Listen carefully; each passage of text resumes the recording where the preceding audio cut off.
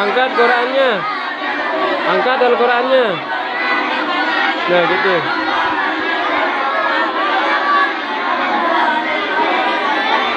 Songkoknya yang benar songkoknya.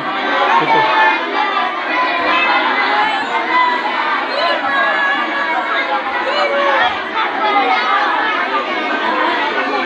Songkoknya mana?